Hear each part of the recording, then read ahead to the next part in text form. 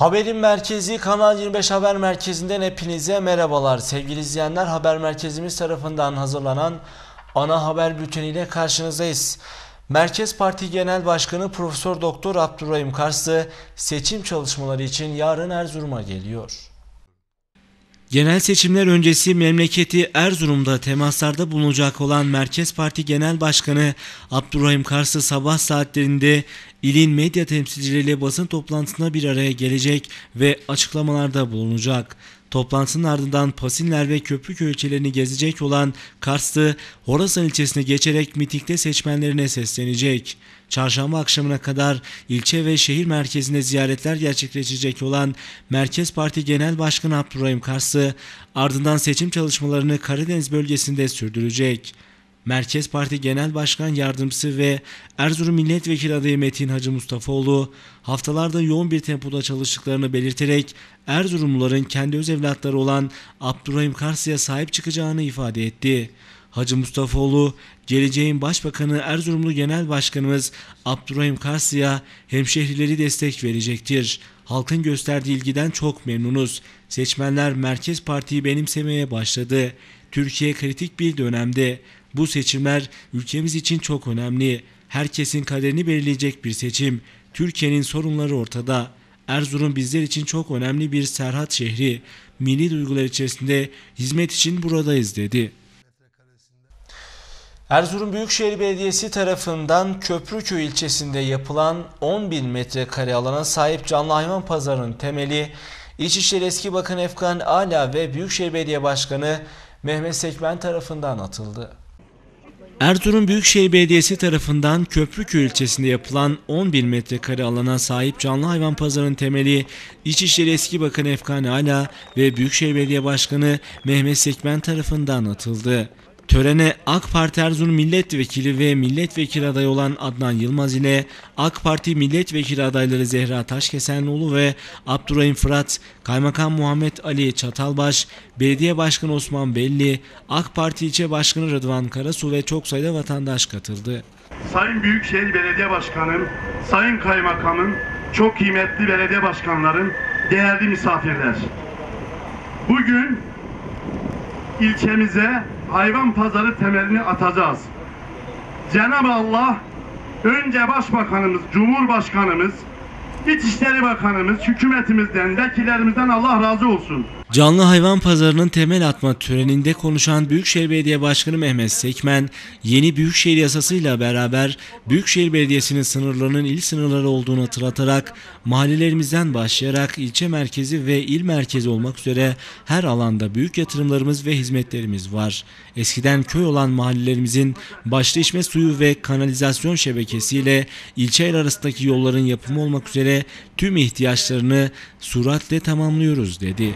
Canlı hayvan pazarında patok dediğimiz açılık ve kapalı, ağır ve karantina, indirme rampası, sosyal tesis, insanlar geldiği zaman burada yemeğini yiyebilecek, çayını içebileceği bir sosyal tesis ve bir idare binamızdan oluşan bir ara takdirde maliyeti 1 milyon 750 bin TL'ye mal olacak.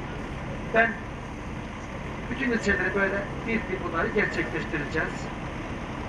Köprü köyümüze hayırlı olsun. Burada muhtarlarım var. Şundan emin olsunlar. Hiçbir ayrımımız yok.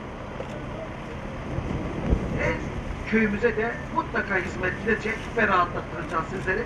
Ama dediğim gibi biraz evvel benim güçlü olmam lazım.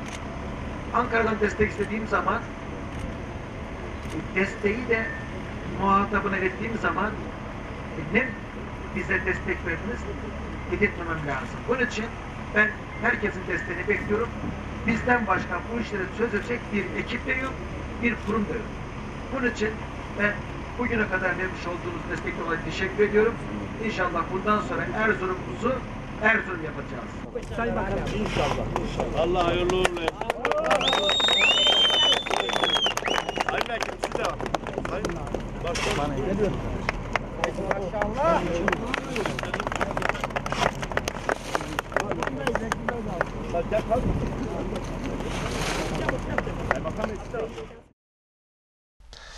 Erzurum Büyükşehir Belediye Başkanı Mehmet Sekmen öğrenci ve personel taşımacılarıyla bir toplantı yaptı.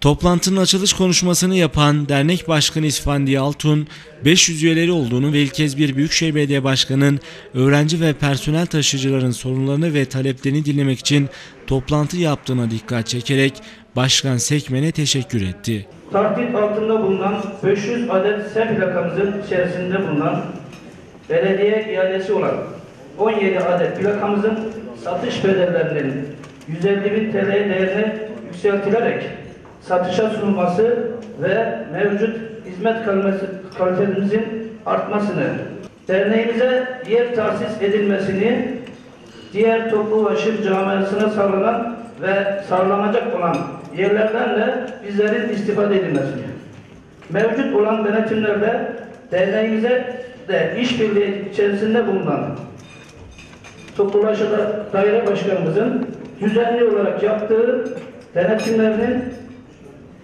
S plakalı araçları, plakası olmayan araçların bağlanarak trafikten men edilmesi, bu yönde iş kalitesinin daha da artmasını, Erzurum Büyükşehir Belediyesi'nin şehrimizdeki kamu kurumları ve sivil toplum derneklerine şehrimize gelen kültürel ve sportif faaliyetlerine, eğitim kafelerine araç temin etmesi, şehrimizde çalışan servis camiasındaki arkadaşlarımızı büyük ölçüde mağdur etmektedir.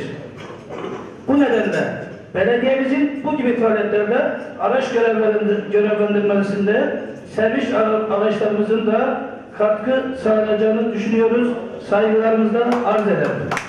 Talepleri dinleyen Başkan Sekmen ben sizin sorunlarınızı, taleplerinizi tek tek dinledim. Hepsini de kabul ediyorum. Benim felsefem şu. Konuşa konuşa sorunları çözeceğiz.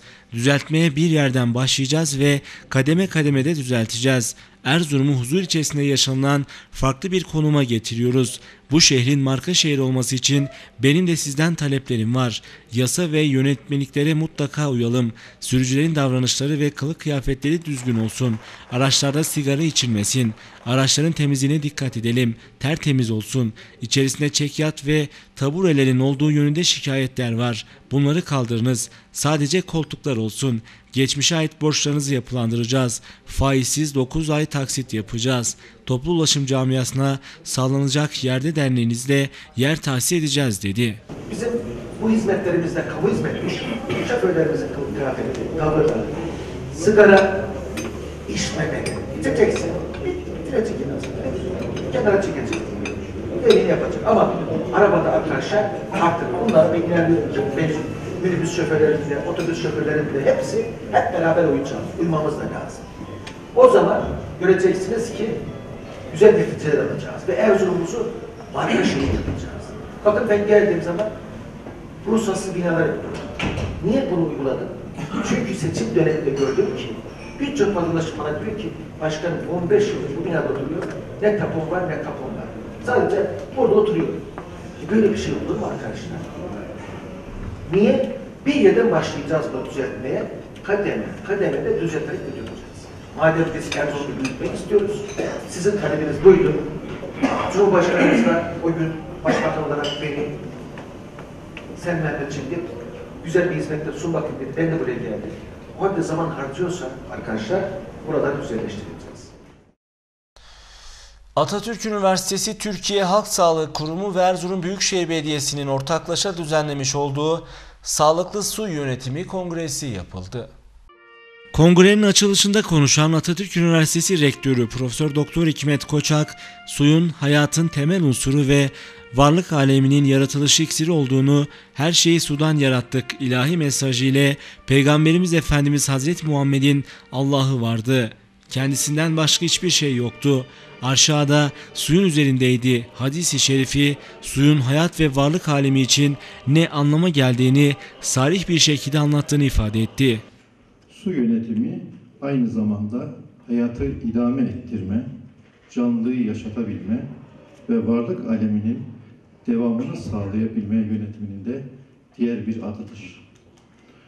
Peki temelde suyun hayatımızdaki yeri ve önemi böyleyken bugün çağımızdaki ya da günlük hayatımızdaki su ile ilişkimiz ve suyun kullan, kullanma, kullanma kültürümüz nedir, ne durumdadır acaba?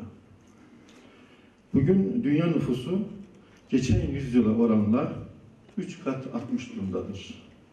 Ama su kaynaklarının kullanımı 6 katına kadar çıkmıştır. Sağlıklı Su Yönetimi Kongresi'nin açılışında konuşan Erzurum Sağlık Müdürü Doktor Cumhur Hakkı Çankaya, Erzurum'un Türkiye'nin üç temel akarsuyunun ana kaynak bölgelerinden biri olduğunu belirterek su kaynaklarının bol gözüktüğünü ancak sadece kendi su ihtiyacımızın karşılanabildiğini söyledi.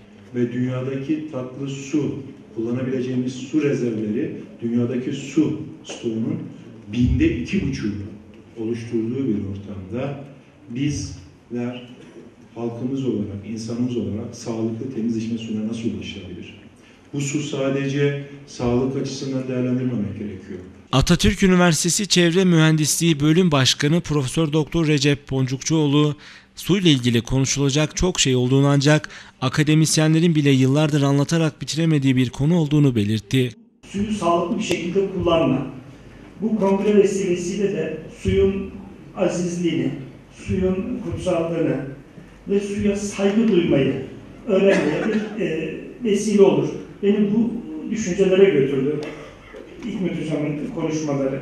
Hani çok e, ilk duyduğumuzda sıradan gibi gelen su hayattır cümlesi veya sloganı aslında ne kadar içi dolu, ne kadar çok anlamlı ve hatası sıfır.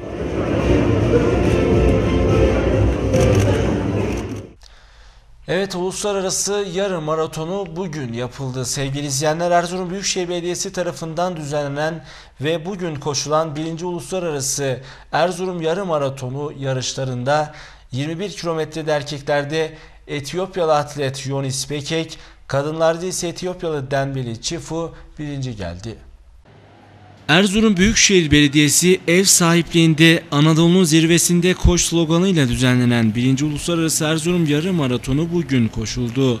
Heyecanın dorukta olduğu maraton yarışlarında 10 ve 21 kilometrelik parkurlarda 14 ülkeden 1058 sporcu yarıştı.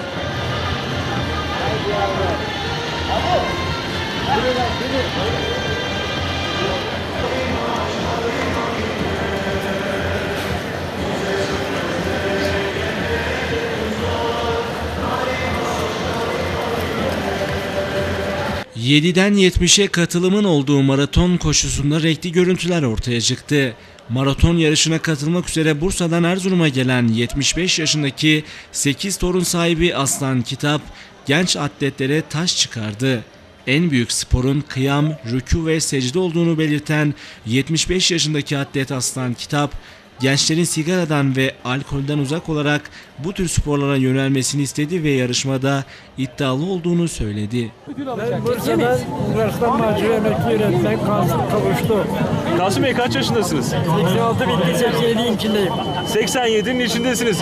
Kaç kilometre koştunuz? 10 kilometre koştum. 10 kilometre koştunuz. Ortalama ne kadar peki sürdü peki? 1 saat gitmedim. 1 saat bile sürmedi. Biz başlayalım. 5 dakika Peki e, nasıl yorucu muydu? Zorlanmadım. Peki bu dinamizmi neye borçluyuz? Az yemek, temiz yemek, içki sigara yok. Ee, Ankara'dan geldik. Adana Kozan'danız. Ankara'da oturuyoruz şimdi. 10 kilometre koştuk. Bir, saatini pek bilemiyorum. Bir, da, bir saat 15 dakika mı bir sa- bilemiyorum orayı. Bakmamıştım saate giderken şimdi. Yok benim için hiç yorucu olmadı. Gerçekten yorulmadım. Yani evde biraz yürüdüğüm için herhalde zorlanmadım. Ben Ankara'dan geldim. Fatma. Korkmaz. Adana Kozan'dan katılıyorum. Daha önce İstanbul Avrasya Maratonu'na katıldım. Ama halk yürüyüşünde de 15 kilometre yine koştum. Oradan cesaret aldım. Burada da 10 kilometreyi koştum. Erzurum çok güzel umduğumdan çok güzel. Çok, çok güzel gerçekten. Düzenlenen uluslararası spor etkinliğine katılmak üzere Kahramanmaraş, Arsin'den Erzurum'a gelen ve halk yürüyüşüne katılan Afşin Ashab-ı Keyf gönül elçileri üzerindeki ilginç elbiseleriyle vatandaşların dikkatini çekti. Kangal cinsi 41 isimli köpekle yürüyüşe katılan gönül elçileri Türkiye'de düzenlenen uluslararası bütün organizasyona katıldıklarını belirterek Ashab-ı Keyf'i tanıtmaya amaçladıklarını söylediler.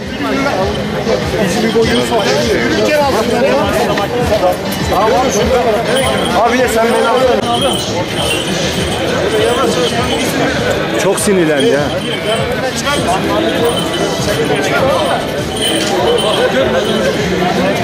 Geri Geri gel tamam geriden al. Tamam alıyorsan böyle kal. Adımız buraya gel. Girme abi. Ya kimsin şu eller çeksin mi elini? Dur. Bu emdi makine delikanlı. Ya alıyorsan böyle kal. Abi görünmüyor. Terbiyesizce. Uluslararası Erzurum Yarım Maratonu'nun en büyük koşusu olan 21 ve 10 metrelik yarışları Havuzbaşı Kent Meydanı'ndan Vali Ahmet Altıparmak'ın start vermesiyle başladı. Cumhuriyet Caddesi, Belediye Önü ve Havalimanı yolu üzerinden devam eden yarış başlangıç noktasında sona erdi. Sedat Gülen'in derecesi 32 dakika 25 saniye. Beşinci atletimiz şu anda geldi. Şeyma Yıldız. Şeyma Yıldız 38 dakika 55 saniyede tamamladı 10 kilometreyi.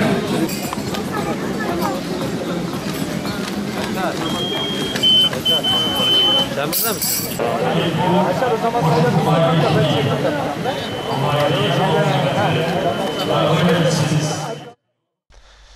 Evet, Uluslararası Erzurum Yarım Maratonu'na Etiyopyalılar damgasını vurdu. Birinci olan atletlere düzenlenen törenle kupaları verildi.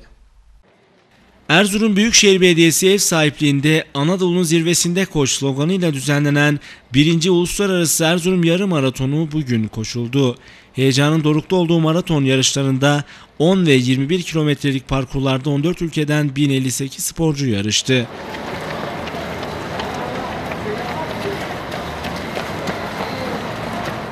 Uluslararası Erzurum Yarım Maratonu'nda 21 kilometrede erkeklerde Etiyopyalı atlet Yonis Bekek Cida 1 saat 6 dakika 8 saniyelik derecesiyle birinci oldu. Kadınlarda ise Etiyopyalı atlet Dembeli Çifu 1 saat 18 dakika 28 saniyelik derecesiyle birinci oldu. 10 kilometrelik yarım maraton koşusunda erkeklerde Etiyopyalı atlet Wengaman Siyu Esu 31 dakikalık derecesiyle birinci olurken kadınlarda ise Türk atlet Sevilay Eytemiz 35 dakikalık derecesiyle ilk sırada yer aldı. Yarı maratonunda 21 kilometrede birinci olan kadın ve erkek sporcular 10.000 TL para ödülünün sahibi oldu. Evet, Etiyopyalı atlet birinci geliyor. Alkışlar arasında. Etiyopyalı atlet. İkinci orada Etiyopyalı. Üçüncü orada Etiyopyalı. Bir, iki, üç Etiyopya. Birinci gelen sporcular kupalarını ve madalyalarını Büyükşehir Belediyesi Başkan Vekili Eyüp Tavlaşoğlu ve Genel Sekreter Ali Rıza Kiremitçi'den aldı.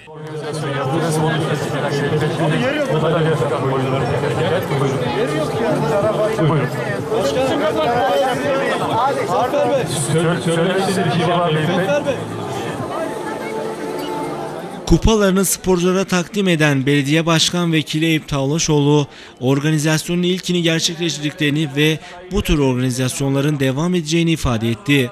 Halk yürüyüşünde birinci gelen Genel Sekreter Ali Rıza Kiremitçi ise sporun insan hayatındaki öneminden bahsetti. Erzurum Spor Şehri 2011 Dünya Uluslararası Kış Oyunları'nın Erzurum'da yapılmasıyla birlikte Erzurum kış sporlarında kış merkezi olduğunu, spor merkezi olduğunu bütün dünyaya ilan etti. Dünyada sadece birkaç ülkede bulunan atlama kuleleri, körlük salonu ve sporla ilgili, sporla ilgili bütün tesisler Erzurum'da var. Emin adımlarla spor merkezi olma yolunda ilerliyoruz. Yalnız yaz sporlarının Erzurum'da yapılması için Erzurum'un çok ciddi avantajları var. Her şeyden önce yüksek irtifa kamp merkezi Erzurum'da kuruldu. Özellikle atletizm dalında sporcuların en çok aradığı yer, nemsiz ortam ve yüksek rakımın bulunması. Bu nedenle maratonun Erzurum'da aslında daha önce de yapılması gerekiyordu. Geç kalınmış bir organizasyon. Büyükşehir Belediye Başkanımız Mehmet Sekmen tarafından bu yıl birincisi başlatıldı. İnşallah bu devam edecek. 2016 yılında çok daha fazla sayıda sporcumuz Erzurum'da bu maratona katılmış olacak. Bayanlarda 10 kilometrenin birincisi Sevilay Eytemiz alkışlıyoruz. Bravo Sevilay. 35 dakika 18 saniye tamamladı. Madalyasını verdik. Kupasını verdik. Sebeple alkış tabii ki ödülümüz, verdik mi ödülümüzü? Sevilay kaç para aldın? Sevilay kaç para? 3 bin lira aldı. Sayın Başkanımızı alkışlıyoruz. Yapalım. Bu haberle bültenimizin sonuna geldik sevgili izleyenler. Daha fazla haber ve ayrıntıyı Kanal 25'in Facebook, Twitter ve internet sitesinden bulabilirsiniz. Yayında ve yapımda emeği geçen tüm ekip arkadaşlarım adına mutlu bir gün diliyorum. Hoşçakalın.